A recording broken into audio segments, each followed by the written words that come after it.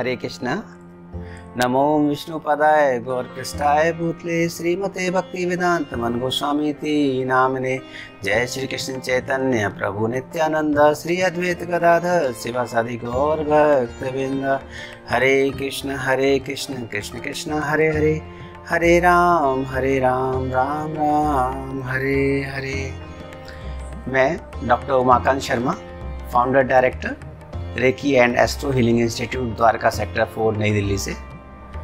हम पिछले दस वर्षों से spiritual science and mystic science energy के माध्यम से कई सेवाओं को जन समुदाय तक पहुँचा रहे हैं।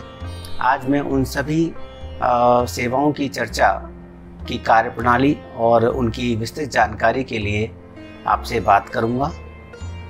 और आ, ये कोशिश करूँगा कि आपको इंस्टीट्यूट के सभी विषयों के बारे में अवगत करा सकूँ हालाँकि सभी प्रदान की जाने वाली सेवाएँ हमारे इंस्टीट्यूट के लिए बहुत महत्वपूर्ण हैं, किंतु जन समुदाय की अपेक्षाओं का ध्यान रखते हुए मैं आज कुछ सेवाओं की जानकारी आपको देने वाला हूँ। इन सेवाओं के साथ साथ इंस्टीट्यूट, इन सब, इनसे संबंधित जितनी भी विश्वस्तरीय कोर्स हैं हमारे से रिलेटेड, या जितनी भी सेवाएँ हैं हमारी हीलिंग से रिलेटेड, उन सब की जानकारी मैं आपके साथ साझा करूँगा आज हमारा इंस्टीट्यूट राही स्पिरिचुअल साइंस और होलिस्टिक के सब्जेक्ट के विषय में I S O nine thousand one two thousand fifteen से भी सर्टिफाइड हो चुका है। हमारी सेवाओं के लिए हमें हीलिंग गोल्ड मेडल और exclusive world records talents awards वगैरह काफ़ी मिल चुके हैं और एस्ट्रोलॉजिकल अचीवमेंट्स अवार्ड्स के साथ भी हम लोगों को नवाजा गया है। इसके साथ साथ नेशनल इंटरनेशनल कई प्रकार की मेंबरशिप हमें मिल चुकी हैं और आप उनकी विस्तृत जानकारी www.reiki.astro.com पर भी जा कर के देख सकते हैं। इसके अलावा हम बात करते हैं आपसे हमारी सर्विसेज़ के बारे में। ये तो एक छोटा सा परिचय था जो आपको दिया गया। और जो हमारी सर्विसेज़ हैं reiki and astro healing institute के बारे में, जिसको हम राही कहते हैं तो राही के विषय के बारे में हम आपको बता रहे हैं कि राही कौन कौन सी सेवाएँ दे रहा है और उन्हीं सेवाओं से संबंधित जो कोर्सेज हम करा रहे हैं, उनको मैं बारी बारी से आपके सामने रखूँगा। तो सबसे पहले ट्रेडिशनल रेकी के बारे में हम बताते हैं कि ट्रेडिशनल रेकी जो एक पारंपरिक रेकी है, उसमें पाँच लेवल होते हैं। इसके अलावा करुणा रेकी के दो लेवल होते हैं तो ये सभी लेवल हमारे यहाँ कराए जाते हैं और इनसे संबंधित जितनी भी हीलिंग्स हैं, चाहे वो डिस्टेंस हीलिंग है, चाहे वो डायरेक्ट हीलिंग है वो जितनी भी हीलिंग्स है, वो सब हम लोग प्रोवाइड कर रहे हैं। इसके अलावा money reiki with N L P basic vastu vastu के विषय में भी अलग अलग तरह के वास्तु हैं, जिसमें आपको सभी वास्तु से संबंधित ट्रेनिंग्स और उन्हीं वास्तु से संबंधित आपको वो सेवाएँ होम विज़िट के रूप में और डिस्टेंस रूप में दी जाती हैं। डिस्टेंस रूप में हम मैप मंगा लेते हैं और मैप को देख करके हम उसकी गणना कर पाते हैं। तो उसमें बेसिक वास्तु कवर होता है एडवांस वास्तु कवर होता है साथ में energy vastu modern vastu vastu with और स्कैनर बहुत शानदार सब्जेक्ट है ये। इसके अलावा vastu with money magic vastu and geopathic और इसके अतिरिक्त मनी वास्तु। तो जैसे आप मैंने बताया कि वास्तु एंड जियोपैथिक तो जियोपैथिक स्ट्रेस भी काफ़ी मायने रखता है हमारे वास्तु की गणना करने में। इसके अलावा astrology and numerology herbs and astrology आपका advance NLP, master course, crystal healing master course, और इसके अतिरिक्त जो बाकी के वास्तु और एनएलपी से रिलेटेड हैं, जो छोटे छोटे सेशंस हम positive parenting sessions relationship sessions वो सभी भी हम इसमें कराते हैं। साथ में हम इसकी हीलिंग सर्विसेज़ भी प्रोवाइड करते हैं। इसके अतिरिक्त angel therapy crystal ball gazing dowsing और डाउजिंग के साथ साथ एडवांस डाउजिंग जिसमें और स्कैनर भी शामिल है। Past life therapy, clinical hypnotherapy DMIT सबसे महत्वपूर्ण सब्जेक्ट डीएमआईटी यानी कि फिंगरप्रिंट एनालिसिस, यानी फिंगर्स को स्कैन करने से हम उस बच्चे की स्ट्रेंथ, वीकनेस, उसके ब्रेन की मैपिंग कर सकते हैं और बच्चे को हम सही गाइडेंस दे सकते हैं उसके कैरियर से रिलेटेड कि आने वाले समय में उसके लिए कौन सा कैरियर सूट करेगा, कौन सा नहीं करेगा। तो डिटेल्ड इसमें पूरी रिपोर्ट बनती है और इसके लिए एक अलग से टीम हमारे पास है। इसके अलावा spices and astrology, herbs and astrology और एस्ट्रोलॉजी के जो बाकी एडवांस फीचर्स हैं, वो सब हमारे यहाँ से प्रोवाइड किए जाते हैं। और ये सारे जितने भी कोर्सेज मैं आपको बता रहा हूँ, ये सभी कोर्सेज आपको जानकर खुशी होगी कि ये सभी कोर्सेज वर्ल्ड क्लास सर्टिफाइड हैं। इसके नोट्स, पीडीएफ नोट्स, बुक्स और हैंड रिटन नोट्स, ये सभी आपको प्रोवाइड किए जाते हैं, जिससे कि आपको समय समय पर उसको पढ़ करके जानकारी मिल सके। एक बात और बता दूँ आगे बढ़ने से पहले कि जितने भी कोर्सेज हैं हमारे यहाँ, ये एक बार जब आपने कर लिया तो life time free of cost आप इनको कर सकते हैं। रिपीट इसमें कहीं पे भी बार बार कोई फ़ीस नहीं ली जाएगी, क्योंकि आपको एक मेंबरशिप स्टूडेंट मेंबरशिप मिल जाती है और इस इस इंस्टीट्यूट के माध्यम से वो सभी आप सुविधाएँ ले सकते हैं, जो एक स्टूडेंट्स के लिए हम लोगों ने प्लान की हुई हैं। इसके अलावा पामिस्ट्री और पामिस्ट्री के अलावा पॉजिटिव पेरेंटिंग सिस्टम जो पहले बता चुका हूँ acupressure natural energy healing sound healing spiritual healing spirit releasement therapy reiki energise candle healing विद्या शक्तिपात समृद्धि शक्तिपात मधुरम शक्तिपात और शुभम शक्तिपात और ब्रेन मैजिक के बारे में हम पहले बात कर चुके हैं। तो हमारे यहाँ जो डीएमआईटी की सर्विस दी जा रही है वो ब्रेन मैजिक बैनर के अंदर दी जा रही है, क्योंकि हम ये मानते हैं कि जब आप फिंगरप्रिंट एनालिसिस कराते हैं तो एक मैजिक की तरह, एक ब्रेन मैजिक की तरह काम करता है, एक बच्चे के साथ और एक बड़े के साथ। इसमें कोई एज लिमिट नहीं है, आप स्टार्टिंग से लेकर के किसी भी उम्र तक आप इसको एनालिसिस करा सकते हैं। डिटेल्ड रिपोर्ट आपको मिलती है और आपको आपके सेटिस्फेक्शन के लिए हम लोग काम कर रहे हैं। तो आप इन सर्विसेज़ को ज़रूर अवेल करें और अब हम बात करते हैं कि इंस्टीट्यूट और किस तरह की अचीवमेंट्स के साथ काम कर रहा है, ये तो मैंने आपको करीब करीब 50 मॉडलिटीज़ के बारे में बताया। यानी कि हमारा इंस्टीट्यूट कम से कम 50 प्रकार की सेवाएँ और 50 प्रकार से अधिक प्रकार के कोर्सेज कराता है और इस, इन 50 प्रकार के कोर्सेज जो है, इनमें जितने भी सर्टिफिकेट्स हैं, वो सब आपको प्रोवाइड किए जाते हैं। तो इन सभी कोर्सेज के अलावा हम gems crystals rudraksha healing candles healing instruments और स्कैनर्स वगैरह की भी सेवाएँ दे रहे हैं। अभी मैं आपको बताऊँ कि पिछले 10 वर्षों में हम लोगों ने लगभग 2500 से अधिक पेशेंट्स को हम क्योर कर चुके हैं। 2500 से अधिक और पूरी सफलतापूर्वक कुछ पेशेंट्स क्योर नहीं हो पाए क्योंकि बहुत पुराने केसेस थे वो और इसमें बिल्कुल भी एक्सेप्ट करने में हमें कोई प्रॉब्लम नहीं है कि वो पुराने केस होने की वजह से और बिलीफ सिस्टम थोड़ा सा वीक था पेशेंट्स का तो वो रेकी को इतना सहज रूप में नहीं ले पाए और वो कुछ पेशेंट ऐसे थे जो आठ दस पेशेंट जो ठीक नहीं हो पाए। लेकिन हाँ पच्चीस सौ से अधिक हमने पेशेंट्स को ठीक किया है तो वो हमारे लिए मायने ज़्यादा रखता है। और हालाँकि जो जो पेशेंट ठीक नहीं हो पाए, उन पर भी हम थोड़ा रिसर्च कर रहे हैं। और जल्दी ही हम उसके बारे में भी निकालेंगे कि ऐसा क्या रीज़न था कि वो ठीक नहीं हुए सौ से अधिक जो मास्टर हीलर्स यहाँ से सीख करके गए, उन्होंने अपना खुद का प्रोफेशनल सर्विस स्टार्ट किया और बहुत सक्सेसफुली वो फ़ील्ड में काम कर रहे हैं। बारह सौ से अधिक अलग अलग मॉडलिटीज़ के जो ट्रेनिज हैं, अपने फ़ील्ड में सेवाएँ दे रहे हैं और वो भी सक्सेस हैं काफ़ी। तो अब हम बात करते हैं हमारी वर्किंग टीम के बारे में। आपको जान करके खुशी होगी कि हमारी टीम में लगभग 10 से 15 लोग काम करते हैं। कुछ लोग पार्ट टाइम हैं और कुछ लोग जो है फुल टाइम हैं। इसमें रेकी ग्रैंड मास्टर शामिल हैं, जो आपको वेबसाइट पे भी उनकी जानकारी मिल जाएगी। डीएमआईटी काउंसलर्स हैं ब्रेन ब्रेन मैपिक काउंसलर्स हैं, जो स्पेशली वो टीचिंग मॉडलिटीज़ अवेल कराते हैं स्टूडेंट्स को। कि एक बार हमें पता लग गया कि एक स्टूडेंट्स की स्ट्रेंथ और वीकनेस ये है, या एक व्यक्ति की स्ट्रेंथ और वीकनेस ये है उसके कैरियर में ये सब चीज़ें प्लान होनी है तो उसके अकॉर्डिंग ब्रेन मैप किया जाता है कि ब्रेन मैपिंग के लिए हम कौन कौन सी एक्टिविटीज़ उनको पूरी एनुअल बेसिस पे क्या क्या करा सकते हैं तो उसके लिए एक अलग टीम काम करती है। इसके अतिरिक्त हमारे पास एस्ट्रोलॉजर्स की चाहे वो वैदिक हों या वो हमारे अपने शास्त्रों से रिलेटेड कोई चीज़ पर अध्ययन कर रहे हों, उसकी एक टीम अलग है। और इसके अलावा कर्मकांड से रिलेटेड भी हमारे पास एक टीम है अगर मान लीजिए कहीं हवन इत्यादि कराना है, या कोई पूजा पाठ कराना है, नवग्रह से रिलेटेड उसको पूजाएँ करानी है, या कुछ जो शांति यज्ञ वगैरह कराने तो उसके लिए अलग से टीम है। आचार्य, हमारे आचार्य जी उसमें गाइडेंस करते हैं। साथ साथ ब्रेन मैजिक एडवाइज़र भी उसके साथ हैं। पास्ट लाइफ हिप्नोथेरेपिस्ट भी हमारे साथ काम कर रहे हैं। और रुद्राक्ष और जेम्स क्रिस्टल्स वगैरह के जो एक्सपर्ट्स हैं, जो ये हमें बताते हैं कि आ, किस तरह की क्वालिटी के क्रिस्टल्स कैसे काम करते हैं तो वो पूरी टीम ओवरऑल 10 से 15 लोगों की है जो हमारे इंस्टीट्यूट के साथ एसोसिएट होकर के काम कर रही है।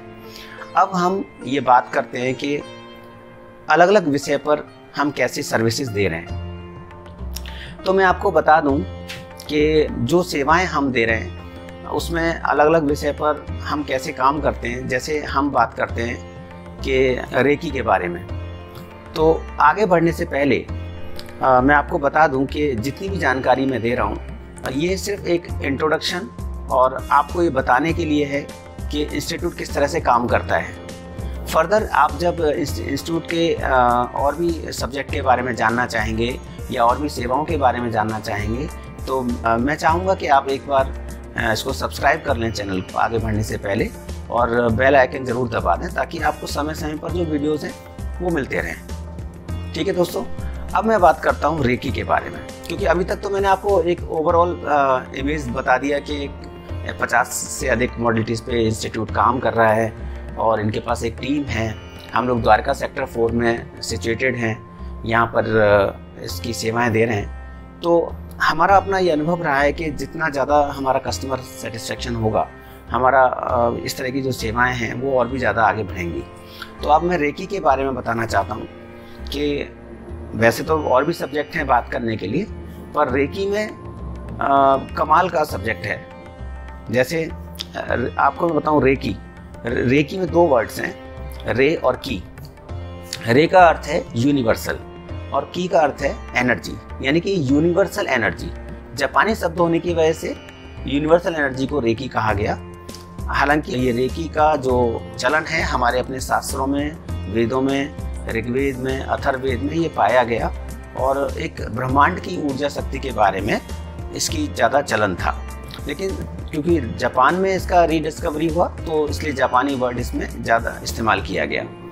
तो जीवन की जो सर्वव्यापी जीवन शक्ति है, जो गुरु परंपरा की धारा में अनेक वर्षों से जन सामान्य के वैकल्पिक चिकित्सकों के रूप में उपलब्ध है रेकी सीखने के बाद आप अपने और दूसरों के सभी शारीरिक, मानसिक, भावनात्मक रोगों का इलाज बिना दवाई के कर सकते हैं। रेकी द्वारा हमने कई ऐसे रोगों का इलाज भी किया है, जो टेस्ट में नहीं आते थे या जो मेडिसिन से ठीक नहीं होते थे और बाद में जब रेकी की गई तो वो ठीक हो गए। कई बार क्या होता है कि मेडिकल टेस्ट तो ठीक आते हैं, लेकिन उनका जो बीमारी है वो पता नहीं चलता। जैसे मान लीजिए, आपको कोई प्रॉब्लम है और आपने मेडिकल टेस्ट कराया तो मेडिकल टेस्ट तो ठीक आ गया, फिर बीमारी का पता क्यों नहीं चला? तो ऐसे रोगों पे भी रेकी बहुत ज़्यादा असरदायक रहती है, क्योंकि रेकी क्या करती है, हमारे बॉडी की जो वाइटल फोर्स एनर्जी है, उसको एनहेंस कर देती है। और ज़ाहिर सी बात है कि जब आप किसी पर्टिकुलर किसी अंग में कोई एनर्जी वीक हो जाएगी तो क्या होगा, उस अंग को धीरे धीरे कहीं कोई ना कोई रोग पकड़ लेगा। तो क्या होता है, उस अंग के बारे में जब हम रेकी देना शुरू करते हैं तो वो अंग जो है और एनर्जाइज होने लगता है वो रिलेटेड चक्रा एनर्जाइज होने लगता है रिलेटेड और एनर्जाइज होने लगता है और व्यक्ति ठीक होने की स्थिति में आता चला जाता है। अब अब मैं आपको बताता हूँ कि रेकी के द्वारा बुखार, जुकाम blood pressure sugar tension depression nervousness thyroid सभी प्रकार के दर्द, गुस्सा, भय, उदासी, बुरी आदतें, कमज़ोरी, पढ़ाई में वीकनेस अशांति पारिवारिक कलह खराब संबंध इसके अलावा मेमोरी इशू इत्यादि सफलतापूर्वक ठीक किए जा सकते हैं। मैंने जैसे आपको बताया ढाई हज़ार से भी ऊपर पेशेंट्स को हम क्योर कर चुके हैं। उनमें बहुत से पेशेंट ऐसे भी थे जो जिनको पैरालिसिस था हार्ट के इश्यूज़ थे और जिनको स्टंट डले हुए थे आ, कैंसर था और भी अलग अलग तरह के जॉइंट्स पेन थे। तो रेकी से ये सारी की सारी चीज़ें हमने जॉइंट पेन और ये जितने भी तरह के दर्द होते हैं, ये सब हमने क्योर किए हैं। अपने 10 साल के अनुभव के आधार पर मैं बता रहा हूँ आपको। इसके अतिरिक्त रेकी के बारे में हमारे जो वैदिक शास्त्र हैं, जैसे मैंने बताया कि ऋग्वेद और अथर्ववेद में इसकी, इसका उल्लेख किया गया है। तो ज़ाहिर सी बात है कि रेकी भले ही एक जापानी शब्द है, लेकिन एक हिंदुस्तानी विद्या होने के नाते ये विद्या हमारे लिए बहुत ही कारगर साबित हुई है पिछले कुछ समय में। और रेकी द्वारा शरीर के अंदर शारीरिक संतुलन भी किया जा सकता है। तो दोस्तों इसलिए सब जानकारी दे रहा हूँ कि कुछ लोगों को हो सकता है रेकी के बारे में इतनी जानकारी ना पता हो तो इस, इतनी महत्वपूर्ण विद्या के बारे में ना पता हो तो हो सकता है कि मेरा वीडियो उनके काम आ जाए। और, रोग के मूल असर, मूल कारण पर इसका असर होता है। हमारी जागृति बढ़ती है, चेतना का विकास होता है, और जितनी भी उपचार शक्ति है, हमारी बॉडी की तो उसकी जो सेल्फ फीलिंग पावर है, उसका विकास हो जाता है। और हमारा तनाव, हमारी भावनाओं से संबंधित हमारे बंधन उस, उससे हम सब मुक्त हो जाते हैं। तो जैसे मैंने एक वर्ड इस्तेमाल किया self feeling power self feeling power में आपको बताऊँ कि आप कोई भी मेडिसिन ले रहे हैं, चाहे वो होम्योपैथिक है, चाहे एलोपैथिक है, क्योंकि हैं तो सभी विधाएँ जिनके माध्यम से एक उपचार करने का तरीका है वो। तो चाहे आप एलोपैथिक करा रहे हो होम्योपैथिक करा रहे हो, या कोई भी विधा से आप ट्रीटमेंट करा रहे हो, जब तक आपके अंदर सेल्फ फीलिंग पावर एक्टिवेट रहेगा, आपकी बॉडी के अंदर सेल्फ फीलिंग पावर का एक प्लेटफॉर्म एक्टिवेट रहेगा, तब तक वो सभी विधाएँ काम करती रहेंगी, वो सभी उपचार काम करते रहेंगे। तो कई बार क्या होता है कि वो सेल्फ फीलिंग पावर ही डैमेज हो जाता है। तो रेकी में हमने ये देखा है कि सेल्फ फीलिंग पावर एक्टिवेट हो जाता है और आपको सभी तरह की दवाइयाँ सूट करने लग जाती है। अच्छा ये मैं किस आधार पर बात कर रहा हूँ? ये मैं इस आधार पर बात कर रहा हूँ क्योंकि जब हमारे यहाँ पेशेंट आए तो कुछ पेशेंट्स की ये कंप्लेंट थी कि जी हम दवाइयाँ तो बहुत लेते हैं लेकिन वो सूट नहीं करती हैं वो आराम नहीं पहुँचाती हैं। अब आप ये देखिए कि जो दवाइयाँ सूट नहीं कर रही हैं आराम नहीं पहुँचा रही हैं इसका मतलब कहीं ना कहीं वो टॉक्सिकेटेड एटमोसफियर पैदा कर रही होंगी क्योंकि आराम तो मिल नहीं रहा। तो ऐसी स्थिति में जब हमने रेकी स्टार्ट की उनकी और रेकी से उनका ट्रीटमेंट स्टार्ट किया तो हुआ क्या कि आ, उनको वो ट्रीटमेंट सूट करने लग गया, उनको वो दवाइयाँ सूट करने लगी और वो जल्दी की ओर हो गए। जहाँ पे डॉक्टर ने कहा था, आठ महीने लगेंगे, दस महीने लगेंगे, वो जल्दी ठीक हो गए। अब रेकी से संबंधित जो दूसरे तरह के जो वीडियोस हैं, हमारे चैनल पर उपलब्ध हैं, reiki and astro healing institute के नाम से जब आप सर्च करेंगे यूट्यूब पर तो आपको रेकी से रिलेटेड और बाकी और भी जैसे क्रिस्टल बॉल गेजिंग है मिस्टिक साइंस से रिलेटेड और भी जो चीज़ें हैं, वो सब आपको मेरे कई तरह के वीडियोज़ वहाँ पर मिलेंगे। तो आप और डिटेल के लिए आप वहाँ पर भी संपर्क कर सकते हैं, वहाँ पर भी उनको वॉच कर सकते हैं। लेकिन हाँ ये है कि आप इनको सब्सक्राइब करना ना भूलें, क्योंकि आप सब्सक्राइब करने से बेल का आइकन दबाने से क्या होगा कि आपको अपडेटेड वीडियो मिलते रहेंगे, क्योंकि आने वाले वीडियोस और भी महत्वपूर्ण होंगे। तो जो भी वीडियोस हैं, आप ज़रूर सर्च करके देखें।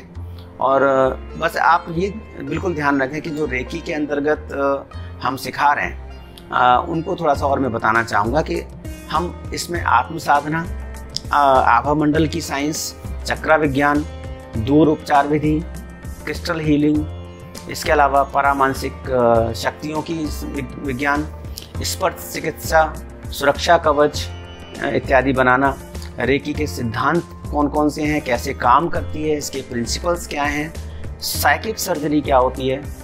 तो साइकिक सर्जरी के बारे में मैं अभी बताऊँगा, जब मैं अपनी थोड़ी बात कंप्लीट कर लेता हूँ। इसके अलावा साइकिक अटैक क्या होता है, इसके बारे में मैं बताऊँगा आपको। और और भी कई तरह की चीज़ें हैं, जैसे मनोकामना पूर्ण करना रॉन्ग फ़ूड कॉम्बिनेशन इन सब के बारे में विस्तार से बात करूँगा।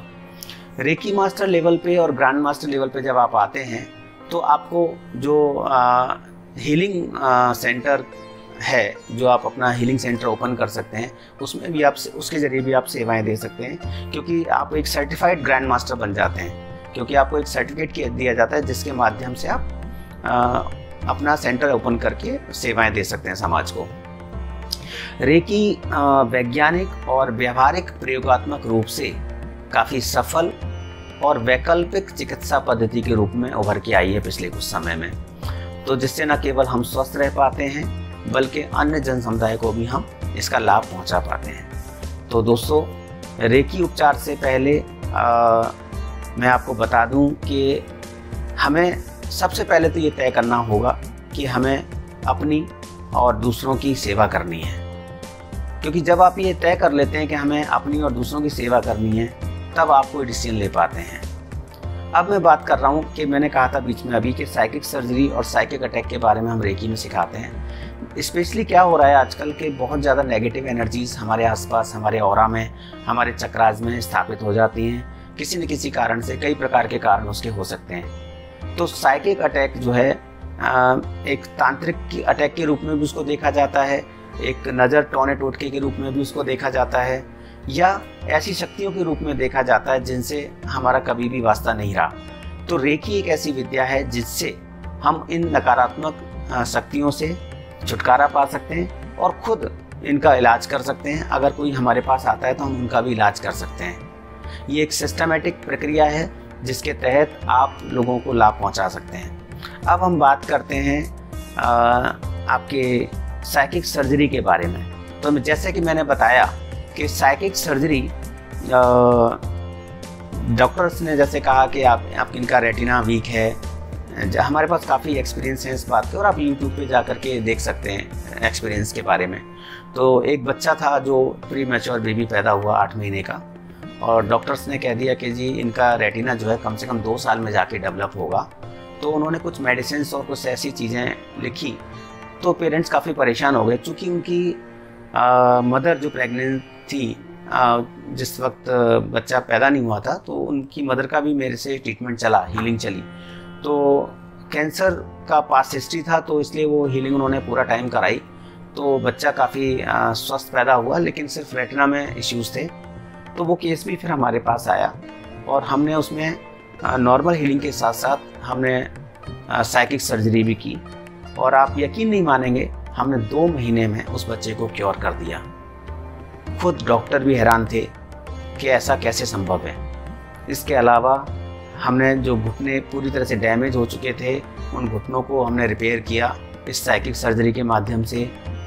बुज़ुर्ग लेडीज़ जो उन मतलब उनकी हार्ट में इश्यूज़ थे बाईपास सर्जरी उनको बोल दिया गया था, उनकी कोई बाईपास सर्जरी नहीं कराई गई और सिर्फ़ रेकी से वो क्योर हो गई। इसके अलावा बहुत सारी चीज़ें हमने ऐसी ऐसी ठीक की। जो खुद पेशेंट्स हमारे लिए ग्रेटिट्यूड रखते हैं और पेशेंट्स ने हमें फीडबैक भी बहुत अच्छे दिए। उन्होंने रिव्यूज़ भी किया कि आपने बहुत अच्छी सेवाएँ दी। तो मैं आपसे सिर्फ़ इसलिए ये सब बातें शेयर कर रहा हूँ कि हो सकता है कि आप पीड़ित हों किसी चीज़ से, या हो सकता है कि आपके नेबर्स पीड़ित हों, आपके रिलेटिव्स पीड़ित हों। अगर आपको रेकी के बारे में जानकारी नहीं है तो आप ज़रूर उनके साथ शेयर करें इस जानकारी को। और यूट्यूब पे अदर्स वीडियोस को भी ज़रूर देखें। बाकी मैंने आपको जो सजेशन दिए हैं कि यूट्यूब चैनल को आप सब्सक्राइब कर लें और बेल आइकन दबा दें तो वो ज़रूर कर लें, ताकि आप अपडेटेड रह सकें। अब हम बात करते हैं कि रेकी उपचार से पहले जब कोई व्यक्ति हमारे पास आता है तो हम कैसे जान पाते हैं कि उसका और वीक है, उसके चक्रास वीक हैं? तो हमारे पास कुछ इंस्ट्रूमेंट हैं जिनका ओरिएंटेशन मैं आपके सामने अभी दूँगा। तो सबसे पहले हम बात करते हैं एल रॉड के बारे में। तो एल रॉड जो है, ये एल रॉड है। इसमें इस तरह की एल एल शेप की दो ये रॉड होती हैं। और इसका पूरा प्रैक्टिस होता है। और प्रैक्टिस करते करते ये फिर हमें, हमारे कमांड्स को लेने लग जाती हैं। जैसे मैंने कहा कि मेरा यस किधर है? जैसे मैं इनसे बात करूँ कि मेरा यस बताएँ, मेरा यस किधर है? तो मेरा यस यानी कि ओपन होके बताएगा कि मेरा यस ओपन है, ठीक है? अगर मैं बात करूँ, अब मैं इनसे बात करूँ कि मेरा जो नो है, नो का आंसर किधर आएगा तो ये मेरे को बताएँगे कि मेरा नो का आंसर जो है, लेफ़्ट में है। तो इस तरह से ये हमें पहले से हम इसकी प्रैक्टिस कर पाते हैं। हमारा कोई कंट्रोल नहीं होता, यहाँ पर एकदम खोखला है ये। तो केवल आपकी जो एनर्जी होती है, क्योंकि एनर्जी क्या करती है? लाइक अट्रैक्ट्स लाइक के सिद्धांत पर काम करती है। तो ये जब हम बात करते हैं कि सामने वाले व्यक्ति के और के बारे में हमें बताएँ तो ये कम या ज़्यादा खुल करके हमें बता देता है कि और क्या है, कितना खुल रहा है। तो उस आधार पे हम बता पाते हैं कि और जितना ज़्यादा खुलेगा, उतना अच्छा है, जितना कम खुलेगा, उतना खराब है। तो इस आधार पर हम बता पाते हैं उस पेशेंट को कि आपके और पे कितना काम हमें करने की ज़रूरत है। और हमारी बॉडी यानी आभा मंडल हमारी बॉडी के चारों तरफ़ जो सुरक्षा चक्र है एनर्जी का, उसको हम आभा मंडल बोल रहे हैं, उसको हम और बोल रहे हैं। अगर आपका और डैमेज है, इसका मतलब है कि आपके चक्रास भी धीरे धीरे डिस्टर्ब होना शुरू हो जाएँगे। अब हम चक्रास को कैसे चेक करते हैं? सेवन चक्राज को चेक करने का माध्यम है ये स्प्रिंग रॉड जिसको हम चक्रा स्कैनर कह रहे हैं। इसमें जिसके सामने हम रखेंगे, उसके आधार पे ये घूम करके बताएगा अगर ये राइट घूम रहा है तो राइट घूमने का मतलब है कि ये चक्रा वीक है और यदि ये लेफ़्ट घूम रहा है तो ये चक्रा इसका मतलब स्ट्रेसफुल है नेगेटिव है ओवर यूज़ है। तो इस आधार पे हम इस चक्रा स्कैनर से बता पाते हैं कि चक्रा कितना आ, चक्रा के ऊपर हमें कितनी हीलिंग करनी है और वो कितने दिन में पेशेंट ठीक होगा। अब हम बात करते हैं एडवांस और स्कैनर के बारे में। अब तक हमने बात की चक्रा स्कैनर और एल रोड के बारे में। अब हम बात करेंगे एडवांस और स्कैनर या वास्तु स्कैनर। क्या है वास्तु स्कैनर या और स्कैनर? ये भी एल रॉड की तरह काम करता है लेकिन लाइक अट्रैक्ट लाइक के बेस पे काम करता है और इसमें हम सैंपल्स लगाते हैं। यहाँ यहाँ पर आपका आ, पावर का दिया हुआ है। पावर को ऑन करते हैं जिससे इसकी एनर्जी एक्टिवेट हो जाती है। अब हम इसमें अलग अलग सैंपल लगा करके इसको प्रयोग करते हैं। सैंपल अगर देखें, हम किसी की पॉजिटिव एनर्जी के बारे में जानना चाहते हैं कि पॉजिटिव एनर्जी कितनी है, उस पर्टिकुलर पर्सन की या उस पर्टिकुलर जगह की तो हम यहाँ पर पॉजिटिव सैंपल लगाते हैं और सैंपल लगाने के बाद हम इससे प्रार्थना करते हैं कि हमें उस स्थान की या उस व्यक्ति की पॉजिटिव एनर्जी के बारे में बताएँ। तो मैं इस स्थान पर बैठा हूँ और मैं इससे प्रार्थना करता हूँ कि मुझे इस स्थान की पॉजिटिव एनर्जी के बारे में बताएँ। तो और स्कैनर हमें घूम करके हमें पॉजिटिव एनर्जी के बारे में बताएगा।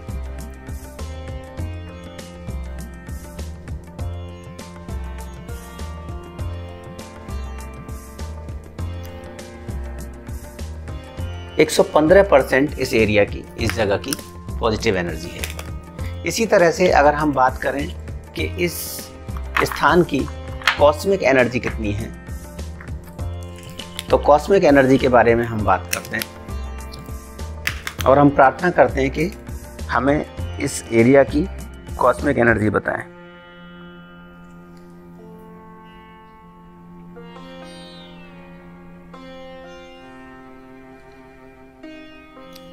एक सौ पाँच परसेंट इस एरिया की कॉस्मिक एनर्जी है। इसी प्रकार इसमें सौ से अधिक सैंपल्स होते हैं। और उन सैंपल्स में आपके और स्कैनिंग का, आपके ग्लोबल एनर्जी का, आपकी IR energy negative energy black magic spirits energy UV energy dead energy और जियोपैथिक एनर्जी इसके अलावा आपके कौन से कलर आपको सूट करते हैं, कौन से कलर आपको सूट नहीं करते आपके कौन से चक्रास वीक हैं कौन से चक्रास वीक नहीं हैं कितने वीक हैं परसेंटेज क्या है ये सब हम इस और स्कैनर से जान सकते हैं। दूसरी बात कि हमारे कौन से ग्रह हमें ज़्यादा प्रभावित ज़्यादा प्रभाव डाल रहे हैं? कौन से ग्रह हमें ज़्यादा नुकसान दे रहे हैं? है ना? कौन से ग्रह हमारे बहुत अच्छे हैं? आ, हमारी कौन सी दिशाएँ वीक हैं? कौन सी दिशाओं में कितनी एनर्जी है? उसकी परसेंटेज क्या है? वो सब हम इस और स्कैनर से पता कर सकते हैं। एक बार जब हमें पता लग जाए लग जाता है कि आ, कौन सा एरिया या कौन सी डायरेक्शन हमारी वीक है तो हम उसको एनर्जी से बैलेंस कर सकते हैं। अगर उसकी कम एनर्जी है तो उसकी एनर्जी को इन्हेंस कर सकते हैं। ऐसे बहुत सारे इंस्ट्रूमेंट हमारे पास ऑलरेडी अवेलेबल हैं।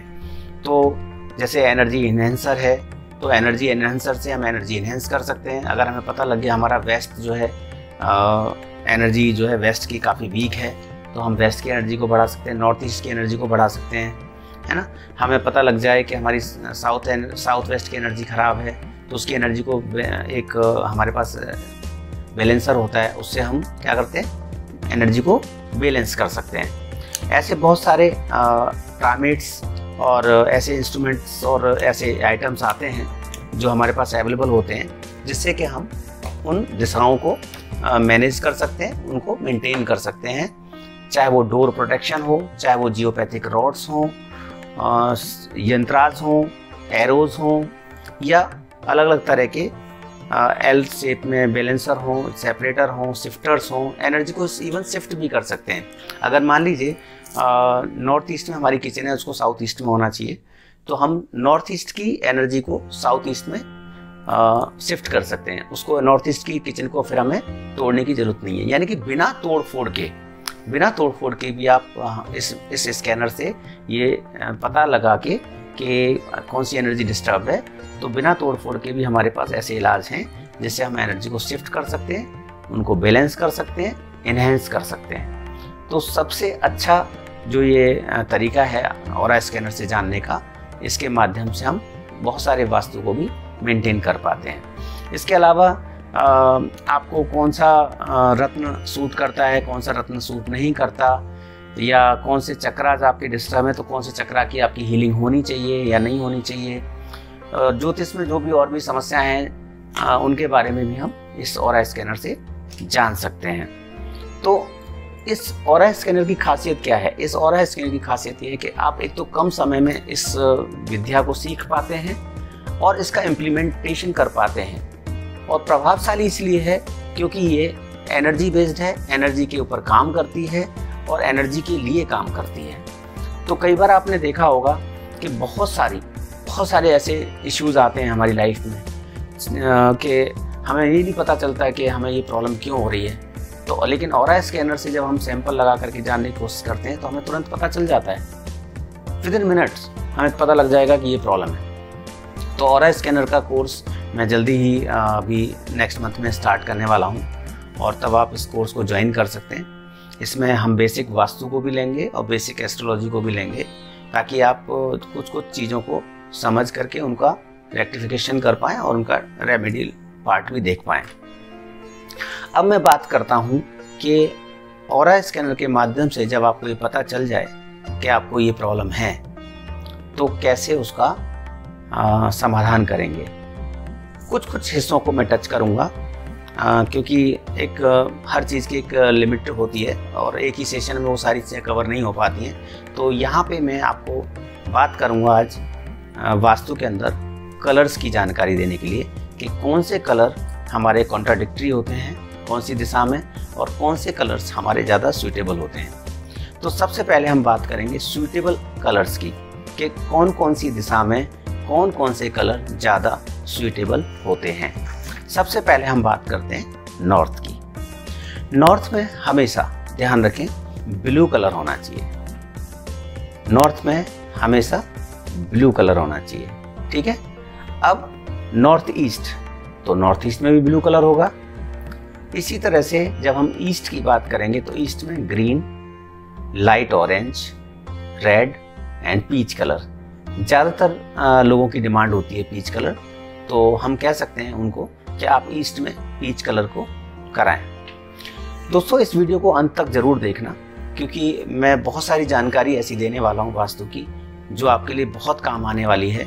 आपके चाहे हेल्थ के लिए हो, चाहे वेल्थ के लिए हो, या आपकी सुख संपन्नता के लिए हो तो ये जो है ओवरऑल कवर करेगा ये वीडियो। तो आप ज़रूर लास्ट तक देखना। और अंत में जब आपको ये पसंद आएगी तो आप कमेंट करना ना भूलें। अब मैं बात करता हूँ साउथ ईस्ट साउथ ईस्ट में जो कलर है, वो रेड डीप रेड और पिंक होना चाहिए। साउथ ईस्ट में दोस्तों साउथ में रेड कलर चलेगा। साउथ वेस्ट में येलो एंड ब्राउन कलर चलेगा। इसके अलावा वेस्ट में white black and grey colour चलेगा। नॉर्थ वेस्ट में वाइट ट्रांसपेरेंट और सिल्वरिश ग्रे आपका यूज़ होगा नॉर्थ वेस्ट में। सेंटर कई बार कुछ लोग पूछते हैं कि सेंटर में हम कौन सा कलर करना चाहिए? सेंटर में येलो कलर किया जा सकता है और मिक्स कलर किया जा सकता है। तो ये बात मैंने आपको बताई ऐसे कलर्स की जो अलग अलग डायरेक्शन में उनको हम इस्तेमाल कर सकते हैं उनकी एनर्जी को बैलेंस करने के लिए उनकी एनर्जी को आ, संतुलित करने के लिए। अब बात करते हैं कि कौन से कलर नहीं होने चाहिए, कौन से कलर कंट्राडिक्टरी होते हैं। इन कलर से ज़रूर बचना चाहिए। अन्यथा, अर्थ का अनर्थ होने में देर नहीं लगती है और आपकी दिशा पूरी तरह से खराब हो जाती है और आपके घरों में उसका दोष आने लग जाता है और आपके घरों में बहुत सारी प्रॉब्लम शुरू हो जाती हैं। तो हम बात करेंगे नॉर्थ ईस्ट की। तो दोस्तों नॉर्थ ईस्ट में आपको ध्यान रखना है येलो कलर येलो कलर नहीं होना चाहिए। साथ में और उन चीज़ों को भी बता दूँगा कि कौन सी चीज़ नहीं होनी चाहिए, क्योंकि उसकी एनर्जी भी खराब करता है। तो नॉर्थ ईस्ट क्या है हमारा? वहाँ पर टॉयलेट नहीं होना चाहिए। नॉर्थ ईस्ट टॉयलेट नहीं होना चाहिए, ठीक है ना? और इसके अलावा येलो कलर नहीं होना चाहिए रेड नहीं होना चाहिए, या कोई तिकोनी शेप नहीं होनी चाहिए वहाँ पर नॉर्थ ईस्ट में। साउथ ईस्ट में वाटर नहीं होना चाहिए अर्थ नहीं होना चाहिए ब्लू कलर नहीं होना चाहिए येलो कलर नहीं होना चाहिए टॉयलेट नहीं होनी चाहिए इवन बाथरूम भी नहीं होना चाहिए। इसके अतिरिक्त साउथ वेस्ट की हम बात करते हैं दोस्तों। साउथ वेस्ट में वाटर यानी ब्लू कलर नहीं होना चाहिए ग्रीन यानी एयर नहीं होनी चाहिए। एयर मतलब ग्रीन ग्रीन कलर नहीं होना चाहिए। वाटरफॉल का कुछ ऐसा इमेज या आ, ऐसा कुछ नहीं होना चाहिए। और टॉयलेट नहीं होनी चाहिए किचन नहीं होनी चाहिए। क्योंकि वो फायर को इंडिकेट करती है। इसके अलावा बेबी शेप नहीं होनी चाहिए कोई। छोटे पौधे नहीं होने चाहिए बाथरूम नहीं होने चाहिए। ठीक है? ये नहीं होने चीज़ें चाहिए वाले मैंने चीज़ें आपको बताई हैं। नॉर्थ वेस्ट में मेटल की कोई चीज़ नहीं होनी चाहिए। कोई भारी आइटम नहीं होना चाहिए, जैसे सिलेंडर इत्यादि आयरन इत्यादि। हाँ लेकिन कुछ चीज़ें ऐसी बताऊँगा मैं आपको जिससे आपको बेनिफिट मिलेगा, जैसे वेस्ट में। वेस्ट में आप तिजोरी रख सकते हैं, नॉर्थ और नॉर्थ ईस्ट फेसिंग करके। फिर से मैं बता रहा हूँ, वेस्ट में तिजोरी रखनी चाहिए, नॉर्थ और नॉर्थ ईस्ट फेसिंग करके। साउथ में रेड फ्लैग तिकोना झंडा आप लगा सकते हैं, ताकि उससे आपका वो एरिया मज़बूत हो जाए, उसकी एनर्जी इन्हेंस हो जाए। और एक चीज़ आपको बता के चलूँगा कि नॉर्थ ईस्ट वाटर का एरिया है। वहाँ पर आपका एल्युमिनियम लगाने से आपको ज़्यादा फ़ायदा होता है। साउथ ईस्ट आपका फायर का एरिया है, वहाँ पर कॉपर लगाने से फ़ायदा होता है। साउथ वेस्ट में अर्थ का एरिया है, वहाँ ब्रास लगाने से फ़ायदा होता है। नॉर्थ वेस्ट एयर का एरिया है, वहाँ पर आपको एल्यूमिनियम लगाने से फ़ायदा होता है। क्या मात्रा होनी चाहिए? कितनी क्वांटिटी वहाँ पर लगानी चाहिए? किस तरीके से लगानी चाहिए? क्या आइटम वहाँ रखा जा सकता है? ये डिटेल्ड विषय है। इसके बारे में आप पर्सनली हमें कॉल कर सकते हैं। मैं आपको नंबर बता रहा हूँ, आप नोट कर लीजिए। Nine five eight two five three nine two four six. फिर से मैं रिपीट कर रहा हूँ, nine five eight two five three nine two four six. तो दोस्तों, इस नंबर पर आप डायरेक्ट कॉल करके और वास्तु के रिगार्डिंग या जो भी आपके प्रश्न हैं, वो आप जानकारी ले सकते हैं। हमारी एक वेबसाइट है, उसको भी आप विज़िट कर सकते हैं, W W dot reiki and astro dot com. यहाँ भी विज़िट करके आप बाकी की जानकारियाँ ले सकते हैं। अब हम बात करते हैं कुछ कुछ प्रश्न ऐसे होते हैं वास्तु के रिगार्डिंग या और के रिगार्डिंग या चक्रा के रिगार्डिंग जिनका सॉल्यूशन बहुत जल्दी से नहीं मिलता। लेकिन वास्तु एक ऐसा विषय है जहाँ पर आप आ, एक चीज़ को बैलेंस करते हैं तो बाकी की भी आठ दस चीज़ें बैलेंस होना शुरू होती है। थोड़ा समय लगता है पंद्रह दिन लग सकते हैं, महीना लग सकता है, दो महीना लग सकता है, तीन महीना लग सकता है, पर उनमें फ़र्क आना लग जाता है। धीरे धीरे उसकी एनर्जी बैलेंस होने लग जाती है। तो कुछ लोग कुछ मेरे से प्रश्न ऐसे भी आते हैं मेरे पास के वेट वेट कहाँ रखना चाहिए? कोई कहता है साउथ में रखना चाहिए, कोई कहता है कहीं, कोई कहता है कहीं। तो मैं आपको बिल्कुल शास्त्रोक्त बता देता हूँ कि वेट के लिए जो दिशाएँ हैं, सबसे पहली दिशा होती है वेस्ट। वेस्ट के अंदर आप जितना वेट रख सकते हैं, उतना मैक्सिमम वेट रखा जा सकता है।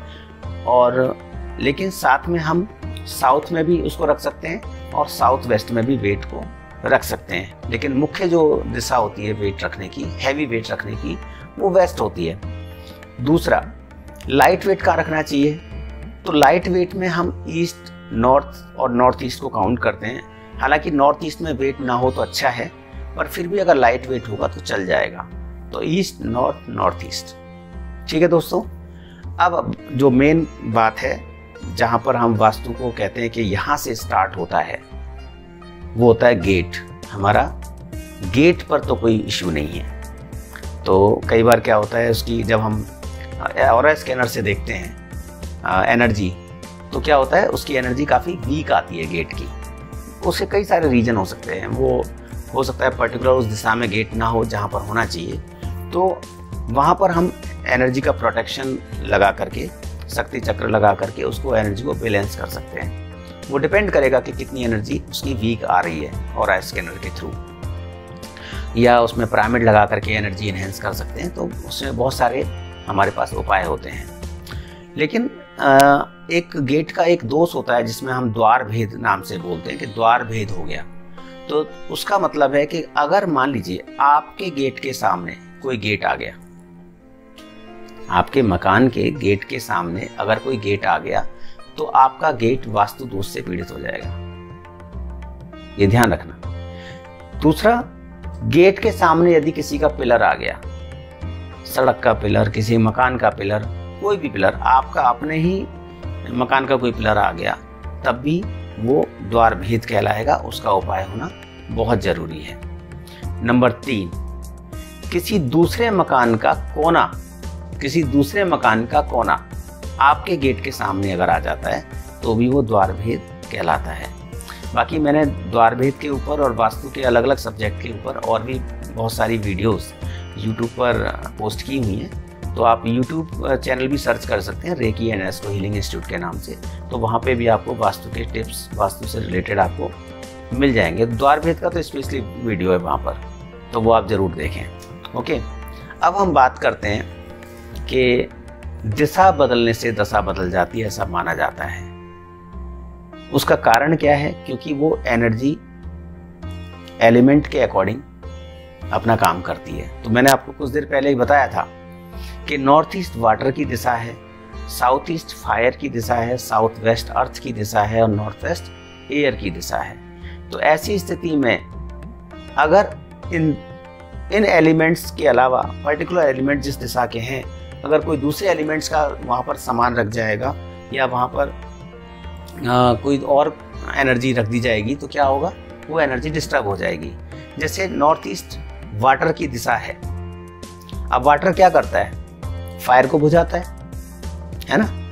तो अगर वहाँ नॉर्थ ईस्ट में अगर आपकी किचन बन जाए किचन क्या है? फायर तो क्या होगा? आपकी किचन से उस नॉर्थ ईस्ट का क्या हो जाएगा? वास्तु दोष हो जाएगा। तो कहाँ होनी चाहिए? फायर है तो फायर मतलब किचन है ना? तो किचन कहाँ होनी चाहिए? साउथ ईस्ट किसकी दिशा हो गई? फायर की। तो साउथ ईस्ट में वो फायर की दिशा होने की वजह से आपकी किचन साउथ ईस्ट में होनी चाहिए।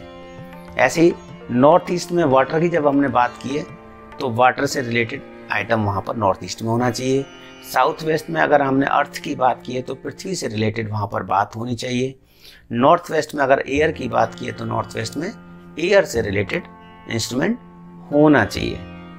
गॉट माई पॉइंट अब ऐसी स्थिति में मैं आपको ये बता दूँ कि जब हम बात करते हैं एलिमेंट्स की तो एलिमेंट्स को फॉलो करना बहुत बहुत ज़रूरी है और एक्सपर्ट्स का होना बहुत ज़रूरी है। कई बार आपके कुछ उपाय करने की वजह से हो सकता है कि एक इंच, दो इंच का कुछ न कुछ दिशा आपका परिवर्तन हो जाए। सिर्फ़ चार दिशाएँ या आठ दिशाओं से बात नहीं बनती है। सोलह जोन्स को भी आपको ध्यान में रखना पड़ता है। आपको अलग अलग तरह के गेट जो होते हैं, उनका भी ध्यान रखना पड़ता है।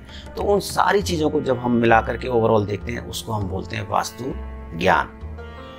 तो थोड़ी बहुत चीज़ों के लिए तो आप YouTube से और गूगल करके चीज़ें मैनेज कर सकते हैं, लेकिन जब आपको डीप लेवल पे जाना होता है एनर्जी को बैलेंस करना होता है तो आपको एक्सपर्ट की ज़रूरत होती है। तो दोस्तों, वास्तु के अंदर बहुत ज़रूरी है कि आप एनर्जी को बैलेंस करके चलें। अब हम बात करेंगे कुछ ऐसे टिप्स की, जिससे आप अपने घर में कुछ कुछ वास्तु को ठीक कर सकते हैं और कहीं पे कोई दिक्कत, परेशानी आए तो आप डायरेक्ट हमें कॉल करके संपर्क कर सकते हैं। अब मैं बात करूँगा, स्टार्ट करते हैं कि कौन सी चीज़ कहाँ पर होनी चाहिए। तिजोरी के बारे में मैंने बताया कि आप ईस्ट, नॉर्थ नॉर्थ ईस्ट की फेसिंग में रख सकते हैं। और उसकी जो प्लेसिंग होगी, वो मैंने आपको पहले बताई थी कि वेस्ट में आप रख सकते हैं और नॉर्थ और नॉर्थ ईस्ट में उसकी फेसिंग कर सकते हैं। इसके अलावा आपका जो फ्रिज होता है फ्रिज के अंदर दो तीन तरह के एलिमेंट होते हैं। एयर भी होता है वाटर भी होता है और फायर भी होता है। तो उसकी जो प्लेसिंग है, आप north east north north west में कर सकते हैं। वर्किंग फेस जो भी आ, उसका होगा उसका नॉर्थ ईस्ट नॉर्थ और नॉर्थ वेस्ट में जब आप रखेंगे तो उसके अपोजिट में उसका फेस हो जाएगा। अब हम बात करेंगे आपके मास्टर बेडरूम की। मास्टर बेडरूम आपका साउथ वेस्ट और साउथ में होना चाहिए साउथ में आपका से होना चाहिए। इसी प्रकार आपकी सीढ़ियाँ जो सबसे बेस्ट रहती हैं वो होती हैं साउथ वेस्ट और साउथ में और वेस्ट में। क्लॉकवाइज जानी चाहिए सीढ़ियाँ। कभी भी उल्टी दिशा में सीढ़ियाँ नहीं घूमनी चाहिए। अगर साउथ वेस्ट साउथ और वेस्ट में सीढ़ियाँ नहीं हैं, इसका मतलब वहाँ पर वास्तु दोष है। एनर्जी को बैलेंस करना बहुत ज़रूरी है और वो भी एक अच्छे एक्सपर्ट के द्वारा आप उसको करा सकते हैं। इसी तरह से किचन आपकी मैंने बताया साउथ ईस्ट में होनी चाहिए साउथ साउथ ईस्ट में भी चल जाती है किचन साउथ ईस्ट में उसका बर्नर होना चाहिए। इसी प्रकार आपका जो एंट्री है, वो एंट्री जो सबसे बेस्ट मानी जाती हैं, वो नॉर्थ ईस्ट की, नॉर्थ की, ईस्ट की और नॉर्थ वेस्ट की एंट्री अच्छी मानी जाती हैं। अब हम बात करते हैं आपकी डाइनिंग टेबल की तो नॉर्थ वेस्ट में डाइनिंग टेबल सबसे बेस्ट मानी जाती है। आप रखने को तो नॉर्थ ईस्ट में भी रख सकते हैं, साउथ में भी रख सकते हैं, साउथ ईस्ट में भी रख सकते हैं। चिल्ड्रन का जो बेडरूम है वो ईस्ट में होना चाहिए, उनका सिर ईस्ट में होना चाहिए। आपकी जो बालकनी है, ईस्ट और नॉर्थ की ज़्यादा अच्छी होती है। वहाँ पर आप जो है अपने प्लांट्स को भी ईस्ट में लगा सकते हैं। पार्किंग पार्किंग आपकी नॉर्थ वेस्ट और नॉर्थ ईस्ट में अच्छी मानी जाती है। आपके हैवी आइटम्स हमने पहले बताया, साउथ वेस्ट और साउथ वेस्ट में रखे होने चाहिए। आपका मशीन एरिया आपका साउथ ईस्ट में होना चाहिए। आपका क्रिएटिविटी एरिया आपके नॉर्थ वेस्ट में होना चाहिए। इसके अलावा आपका लाइट वेट ईस्ट, नॉर्थ और नॉर्थ ईस्ट में होना चाहिए। अब हम बात करते हैं आपके बाथरूम की। तो बाथरूम क्या है? चंद्रमा। तो कहाँ होना चाहिए? वेस्ट, नॉर्थ वेस्ट और एस एस डब्ल्यू में आपका बाथरूम होना चाहिए। टॉयलेट टॉयलेट क्या हो गया आपका? Rahu. S S W W N W W S और नॉर्थ वेस्ट ये आपका टॉयलेट होना चाहिए इन दिशाओं में। ध्यान रखें साउथ वेस्ट में टॉयलेट होने से तलाक करा देता है। आपके संबंध खराब हो सकते हैं तो साउथ वेस्ट में टॉयलेट नहीं होना चाहिए। शास्त्र, वास्तुशास्त्र तो यहाँ तक भी कहता है कि आपका टॉयलेट और बाथरूम मिक्स नहीं होने चाहिए, क्योंकि आपका टॉयलेट राहु है और आपका बाथरूम चंद्रमा है। यानी राहु और चंद्रमा मिलकर के क्या कहानी बनाएँगे आप समझ सकते हो। और डिटेल में, मैं फिर कभी बात करूँगा, जब एस्ट्रोलॉजी और वास्तु के बारे में बात करूँगा इकट्ठा। लेकिन ये ध्यान रखना है कि राहु और चंद्रमा एक साथ नहीं होने चाहिए। कोशिश करें, अगर आप अभी मकान बना रहे हैं तो राहु और चंद्रमा को अलग अलग रखें। फिर भी अगर आपने फ्लैट ले लिया है तो आप या तो राहु का इलाज करें या चंद्रमा का इलाज करें। दोनों में से एक एनर्जी को ज़रूर बैलेंस करें। इसके अलावा जो आपकी स्टेयर्स हैं, वो बुद्ध होती हैं तो उनको क्लॉकवाइज होना बहुत बहुत ज़रूरी है। उनका बिल्कुल ध्यान रखें। अब आते हैं बच्चों की स्टडी टेबल पर। बच्चों की स्टडी टेबल आपकी ईस्ट नॉर्थ वेस्ट और नॉर्थ ईस्ट में होनी चाहिए। आपकी जो बिज़नेस टेबल है चेयर है, वो साउथ वेस्ट में होनी चाहिए। आपकी जो कार्य करने की जो टेबल है आपका डिस्पोजल एरिया आपका वेस्ट एरिया है और आपका जो स्टोर है, वो आपका नॉर्थ वेस्ट है। लेकिन वो लाइट वेट उसके अंदर होना चाहिए। आपका मीटिंग रूम नॉर्थ ईस्ट में होगा। तो ये जितनी भी जानकारी आपको मैं बता रहा हूँ, ये बहुत बहुत इम्पोर्टेंट जानकारी है। इन जानकारियों से आपको बहुत सारी चीज़ें समझने में मदद मिलेगी। क्यों? क्योंकि ऐसी चीज़ें जब आप करते हैं, जैसे अब हम ये कहते हैं भाई आ, हमारा फैमिली पिक है। तो फैमिली पिक कहाँ होना चाहिए? तो फैमिली पिक साउथ वेस्ट में होना चाहिए। आपके जो रोल मॉडल्स हैं उनका पिक कहाँ होना चाहिए? आपका ईस्ट में होना चाहिए। क्यों होना चाहिए? क्योंकि उन जैसा आपको बनना है। तो आपको अगर कुछ चीज़ अचीव करनी है आपको कुछ चीज़ें वैसी वैसा बनना है तो उनके फोटोग्राफ्स उनकी इमेजेस आपको ईस्ट में लगाने से आपका अचीवमेंट का जो एनर्जी है वो बढ़ जाता है। आपका गेन एरिया बढ़ जाता है। तो गेन की एनर्जी को बढ़ाने के लिए ईस्ट में आपको लाइक अट्रैक्ट लाइक वाला सिद्धांत इस्तेमाल करना चाहिए। इसके अलावा, अब आपकी वॉल क्लॉक कैलेंडर ये सब कहाँ होने चाहिए? या तो नॉर्थ में होने चाहिए, या ईस्ट में होने चाहिए। और भी बहुत सारी चीज़ें हैं जो आपसे डिस्कस की जा सकती हैं। जैसे आपका, मैंने बताया कि अगर मान लीजिए आपके ऑफ़िस है तो ऑफ़िस में साउथ वेस्ट में एक मैनेजर को बैठ साउथ वेस्ट में बैठ करके नॉर्थ या ईस्ट में उसका फेस होना चाहिए। अगर उस कंपनी का सीईओ है तो सीईओ कहाँ बैठना चाहिए? साउथ में बैठना चाहिए और ईस्ट और नॉर्थ में उसका मूव होना चाहिए। ऐसे ही मैन्युफैक्चरिंग अगर आपकी कोई फैक्ट्री है तो मैन्युफैक्चरिंग एरिया कहाँ होना चाहिए? साउथ वेस्ट में होना चाहिए। है ना? मशीनरी एरिया कहाँ होना चाहिए? साउथ ईस्ट में होना चाहिए। जब हम फ्रिज की बात कर रहे थे कि फ्रिज जो है आ, फायर भी है एयर भी है वाटर है तो वो उसका सही दिशा कौन सी है? साउथ ईस्ट और नॉर्थ वेस्ट आप नोट भी कर सकते हैं साथ के साथ। साउथ ईस्ट और नॉर्थ वेस्ट इसके अलावा वॉशिंग मशीन कहाँ होनी चाहिए? नॉर्थ ईस्ट और नॉर्थ वेस्ट ठीक है? अब कुछ आ, लोग आ, ये ज़्यादा रहते हैं कि भाई हमारी बोरिंग कहाँ होनी चाहिए? हमारी हमें बोरिंग करानी है पानी के लिए। तो नॉर्थ ईस्ट ध्यान रखना वो नॉर्थ ईस्ट में बहुत ज़्यादा फ़ायदेमंद होती है जब हम उस बोरिंग को कराते हैं। फ़िश। फ़िश टैंक कहाँ होना चाहिए आपका? नॉर्थ ईस्ट में। मैंने कहा था ना वाटर। याद आया? तो वाटर एलिमेंट जो है नॉर्थ ईस्ट में होता है तो आपका फ़िश टैंक भी नॉर्थ ईस्ट में। ऐसे करके आप इन चीज़ों को समझ सकते हैं। आ, इसके अलावा आ, मैं आपको बताना चाहूँगा कि जो आपका लाइट वेट है हैवी वेट है, इन सब चीज़ों का क्यों ध्यान रखना ज़रूरी है? क्योंकि उससे क्या होगा, आपकी जो दिशा है, उस दिशा की एनर्जी कम या ज़्यादा हो सकती है। अगर कम हुई तो भी प्रॉब्लम है, ज़्यादा हुई तब भी प्रॉब्लम है। तो इसी तरह से जब हम प्लॉटिंग का एरिया देखते हैं तो कुछ एरिया आपका कटा हुआ होता है, कुछ एरिया बढ़ा हुआ होता है। ये सारी बातें मैं मिक्स इसलिए कर रहा हूँ क्योंकि आपको एक ओवरऑल बेसिक बेसिक आइडिया आपको हर चीज़ के बारे में लग जाए। यहाँ तक कि हमारे उस प्लॉट की मिट्टी भी मायने रखती है कि कौन सी मिट्टी कैसी है, कैसे कलर की है कौन से गंध की है, उसकी भी मायने रखती है। हाँ तो हम बात कर रहे थे हमारी फैमिली पिक फैमिली पिक कहाँ लगनी चाहिए? साउथ वेस्ट में लगनी चाहिए। इसके अलावा हमें अगर कपूर जलाना है तो कौन सी दिशा में जलाना है? साउथ ईस्ट में जलाना है। कपूर।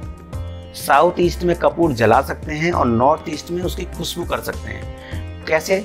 अगर हमें बर्नर के ऊपर कपूर रखना है और अंदर नीचे कैंडल जलानी है तो कहाँ जलना, रखना है उसको? नॉर्थ ईस्ट में। ठीक है? और अगर हमें कपूर जलाना है, जैसे कपूर की टिक्की रखी और उसको हमने जला दिया तो वो हमें जलाना है आपकी साउथ ईस्ट में। तो इतना फ़र्क पड़ जाएगा आपकी एनर्जी का कि कौन सी दिशा में आप जला सकते हैं, कौन सी दिशा में आप खुशबू कर सकते हैं। तो ये जो चीज़ें हैं, आपको बहुत ही ध्यान देने वाली बात है। ठीक है? अब हम बात करते हैं कि आपका जो वासुदेव है आ, उनका आपको कैसे ध्यान रखना है कि उनका सिर किधर होना चाहिए उनके पैर किधर होते हैं और सिर किधर होता है उसके अकॉर्डिंग भी आप चीज़ें कर सकते हैं। तो मैं बता दूँ कि वासुदेव के जो सिर होता है उनका सिर होता है नॉर्थ ईस्ट में और जो वास्तु पुरुष के जो पैर होते हैं वो होते हैं हमारे उनके साउथ वेस्ट में हमारे एरिया के साउथ वेस्ट में। तो नॉर्थ ईस्ट में इसीलिए कहा गया कि नॉर्थ ईस्ट में देवस्थल होता है। नॉर्थ ईस्ट में उनका सिर होने की वजह से और नॉर्थ ईस्ट को हमें देवताओं का स्थान मानने की वजह से वहाँ पर जो भी चीज़ें वो मतलब बहुत ही पवित्रता की चीज़ें करनी चाहिए। तो वो बहुत ध्यान देने वाली बात है। तो दोस्तों, अब मैं बात करूँगा आपसे हमारे अपनी दिशा, उनके ग्रह और रत्नों के बारे में। तो अब ब्रह्म स्थान के बारे में पहले बात कर लेते हैं। ब्रह्म स्थान सूर्य की, सूर्य का स्थान है। और वो आपका, उसका रत्न है माणिक। उत्तर। उत्तर दिशा चंद्रमा की और चंद्रमा का रत्न है मोती। दक्षिण दिशा मंगल एंड मूगा। इसी तरह से पूर्व पूर्व के बारे में हम बात करें तो बुद्ध और बुद्ध का जो रत्न है वो पन्ना। पश्चिम के बारे में बात करें तो शनि। शनि का रत्न है नीलम। नॉर्थ ईस्ट की बात करें तो गणपति पुखराज ओके? और साउथ वेस्ट के बारे में बात करें तो राहु राहु का रत्न है गोमित। नॉर्थ वेस्ट की बात करें तो केतु केतु जो है मिक्स रत्न आते हैं। साउथ ईस्ट गुरु और गुरु में पुखराज। ओके, अब हम बात करते हैं कि अलग अलग दिशाओं के जो उनकी धातु हैं, वो कौन कौन सी हैं? तो हम उत्तर की बात करते हैं तो वहाँ पर जब हम मोती की बात करेंगे, चंद्रमा की तो मोती के साथ हम चांदी का यूज़ करते हैं। दक्षिण में मूँगा तो की बात करते हैं तो वहाँ पर पत्थर की बात करते हैं पूर्व की दिशा में पन्ना की बात करें तो सोने की बात करते हैं पश्चिम में यदि हम नीलम की बात करें तो लोहे की बात करेंगे नॉर्थ ईस्ट में हम चांदी की बात करेंगे साउथ वेस्ट में हम लेड की बात करेंगे यानी रांगा और नॉर्थ वेस्ट में अगर हम बात करेंगे तो टिन की बात करेंगे और साउथ वेस्ट साउथ ईस्ट में हम बात करेंगे तो तांबा यानी कॉपर की बात करेंगे तो दोस्तों ये बात हो गई हमारी धातु के बारे में ये बात हो गई हमारे स्टोन के बारे में, यानी कि रत्नों के बारे में, उनके ग्रहों के बारे में और उनकी दिशाओं के बारे में।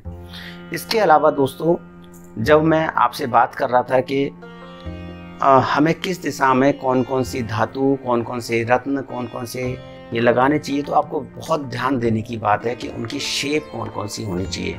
क्योंकि अगर आपने वो शेप बिगाड़ दी या शेप गड़बड़ हो गई तो शेप गड़बड़ होने से भी क्या होगा आपका दोष वहाँ पर आ जाएगा। तो अब हम बात करेंगे नॉर्थ वेस्ट नॉर्थ वेस्ट में हम सर्कल, यानी वहाँ पर गोलाई वाली शेप का ज़्यादा इस्तेमाल करते हैं। नॉर्थ ईस्ट में हम सेमी सर्कल की बात करते हैं। साउथ ईस्ट में हम त्रिकोण, यानी कि ट्रायंगल की बात करते हैं। और इसके अलावा साउथ वेस्ट में जब हम बात करते हैं तो स्क्वायर की, यानी कि चौकोर की बात करते हैं। तो गोल, यानी लोहा सेमी सर्कल यानी एल्युमिनियम ट्रायंगल यानी कॉपर चौकोर यानी स्क्वायर यानी कि ब्रास और रेक्टेंगल यानी कि स्टील। ईस्ट में रेक्टेंगल इस्तेमाल करते हैं वेस्ट में हम आयरन का इस्तेमाल करते हैं और आ, इसी तरह से अलग अलग दिशाओं में अलग अलग तरह से हम उसको आकृति के हिसाब से इस्तेमाल कर सकते हैं। तो दोस्तों आपको ये जानकारी जो हम शेयर कर रहे हैं, इसमें बस एक चीज़ ध्यान रखना है कि वास्तु एक एरिया से दूसरे एरिया के साथ कनेक्टेड है। तो जो जानकारी मैंने आपको दी, वो आपकी बेसिक जानकारियाँ हैं। इन जानकारियों के साथ आपको डीप नॉलेज का होना बहुत ज़रूरी है। ऐसा नहीं है कि आपको ये जानकारी हो गई और आपने इम्प्लीमेंट कर दिया। यानी कि आपको फिर भी एक्सपर्ट की आवश्यकता होगी।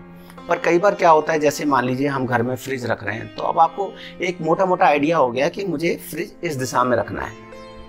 ओके अब आपको ये पता लग गया कि वॉशिंग मशीन मुझे इस एरिया में रखनी है। मुझे कैलेंडर इस एरिया में रखना है। मुझे जो वॉल क्लॉक है, मुझे इस एरिया में टांगनी है। मुझे अपने जो रोल मॉडल्स हैं, वो वहाँ लगाने हैं। अपने ठाकुर जी या अपने भगवान मुझे वहाँ लगाने हैं। इस तरह से अब आपको एक मोटा मोटा आइडिया हो गया तो आप बेसिक चीज़ों को आप अपने घर में मैनेज कर सकते हैं। लेकिन यदि आपको एनर्जी बैलेंस करनी है, आपके घर में परेशानियाँ चल रही हैं, आपके घर में ग्रह क्लेश वगैरह चल रहा है, आपके घर में पैसों की दिक्कत है, आपके घर में और भी बहुत सारी दिक्कतें आ रही हैं, बच्चों का कैरियर है, आपकी जॉब है, आपका बिज़नेस है तो मेरी सलाह ये है कि आप इनको तो नॉलेज में रखें रखें, साथ में एक्सपर्ट एडवाइस ज़रूर लें। क्योंकि एडवाइस क्या होगा? आपकी एनर्जी बैलेंस होगी। अगर आपने एक्सपर्ट एडवाइस ना लेते हुए अपने आप उसका ट्रीटमेंट करने की कोशिश की तो आप एक जगह तो ठीक कर सकते हैं, पर हो सकता है कि आपका दूसरा एरिया वीक हो जाए। जैसे मैंने कहा कि नॉर्थ ईस्ट में आपकी किचन चली गई और उसको साउथ ईस्ट में आपको शिफ्ट करना है उसकी एनर्जी को। तो वो शिफ्टिंग का क्राइटेरिया क्या होगा? कितना बड़ा एरिया है, कितनी बड़ी एनर्जी आपको चाहिए? ये आप डिसाइड नहीं कर पाएँगे। अगर आपको बेसिक नॉलेज तो है, लेकिन बाकी एडवांस नॉलेज नहीं है तो। तो आप कोशिश कीजिएगा कि आप एक्सपर्ट एडवाइस ज़रूर लें। क्यों? क्योंकि एक्सपर्ट एडवाइस लेने से क्या होगा? आपका नॉर्थ ईस्ट भी ठीक हो जाएगा, आपका साउथ ईस्ट भी ठीक हो जाएगा। अब आपने एक चीज़ को तो ठीक कर दिया, दूसरा दूसरा मान लीजिए आपका वीक हो गया। नॉर्थ ईस्ट की एनर्जी को बंद करना था, वो बंद नहीं हुई और आपने साउथ ईस्ट की एनर्जी को खोल दिया। तो इस तरह की जो चीज़ें हैं, ये बड़ी डिस्टर्बेंसिंग होती हैं हमारी लाइफ में, हमारे कैरियर में, हमारे रिलेशनशिप में, हमारे बिज़नेस में बहुत बहुत ज़्यादा दिक्कतें आती हैं। तो जब आप एक्सपर्ट एडवाइस लेते हैं, तब ये चीज़ें सामान्य हो जाती हैं और आप इनका ट्रीटमेंट कर पाते हैं अच्छे से। आपको इस तरह की जानकारियाँ और भी बहुत सारी दूँगा। जैसे मैंने आपको और स्कैनर के बारे में बताया तो और स्कैनर का एक डिटेल्ड वीडियो मैं आप आगे लेके आने वाला हूँ। एक एडवांस वास्तु का एक डिटेल वीडियो में आके लेके आने वाला हूँ। बेसिक वास्तु का एक डिटेल्ड वीडियो लेके आने वाला हूँ। मनी वास्तु का एक अलग से डिटेल्ड वीडियो लेके आने वाला हूँ। तो ऐसे बहुत सारी चीज़ें होंगी, लेकिन वो चीज़ें जब देख पाएँगे, वो वीडियो जब देख पाएँगे, जब आप इस चैनल को सब्सक्राइब करेंगे और उसको बेल आइकन को ज़रूर प्रेस करें ताकि वो आपको समय समय पर वो अपडेटेड हो। अब मैं बताता हूँ कि हमारे पास वास्तु से रिलेटेड जो इंस्ट्रूमेंट्स होते हैं आइटम्स होते हैं उसमें कौन कौन से मेजर जो इंस्ट्रूमेंट्स हैं वो हैं जिससे कि हम बैलेंसिंग कर रहे हैं। हमारे पास पिरामिड अवेलेबल्स हैं। पिरामिड के अलावा हमारे पास जियोपैथिक रॉड्स हैं एलिमेंटल रॉड्स हैं डायरेक्शनल रॉड्स हैं। वर्चुअल एंट्री ओपन करने के लिए अलग से रॉड्स आती हैं, वो हैं। इसके अतिरिक्त हमारे पास शिफ्टर्स हैं एनर्जी को शिफ्ट करने के लिए। हमारे पास एनर्जी को सेपरेट करने के लिए हैं। जैसे मान लीजिए कोई ऐसा, ऐसी चीज़ बनी हुई है उस जगह पर, जो होनी नहीं चाहिए होनी नहीं चाहिए थी उस मकान के अंदर। जैसे मान लीजिए टॉयलेट है टॉयलेट का कोई आपके पास इलाज नहीं है तो हम टॉयलेट के ऊपर एक ऐसा सेपरेटर लगा देंगे कि टॉयलेट की एनर्जी एकदम से सेपरेट हो जाएगी उस एरिया से। वो एडजस्ट ही नहीं करेगी उसकी एनर्जी तो दोस्तों, बहुत ऐसी चीज़ें हैं, जैसे बैलेंसर है बैलेंसर से रिलेटेड उनके प्राइमेट्स हैं। प्राइमेट एक साथ बनाने के बाद उसके हम बैलेंसर उसका यूज़ कर रहे हैं। इसके अलावा स्वास्थ्य हैं नाइन प्राइमेट के साथ। यंत्राज हैं अलग अलग क्रिस्टल बॉल्स हैं जिनका हम प्रयोग करते हैं वास्तु के अंदर। सबसे मेजर पॉइंट कि हम डोर को कैसे प्रोटेक्ट कर रहे हैं, हम ब्रह्मस्थान को कैसे रत्न मंजूसा हमारे पास एक यूनिक आइटम है कि रत्न मंजूसा से हम ब्रह्मस्थान को कैसे एकदम से एक्टिवेट कर देते हैं और बस जय जयकार हो जाती है। तो ऐसी बहुत सारी चीज़ें आपको समझ में आएँगी जब आप हमारे संपर्क में आएँगे कि वास्तु को बिना तोड़े फोड़े हम कैसे इम्प्लीमेंट करते हैं। आपको एक एक इंच तोड़ने की ज़रूरत नहीं है। आपका सारा वास्तु एकदम से सेटल होता चला जाएगा। चाहे वो आपका घर का वास्तु है, चाहे वो ऑफ़िस का है, चाहे वो फैक्ट्री का है, चाहे वो आपकी किसी कंपनी का है, चाहे आपके फ्लैट का है, चाहे आपके प्लॉट का है, कहीं का भी वास्तु हो, आप हर जगह का वास्तु मेंटेन कर पाएँगे।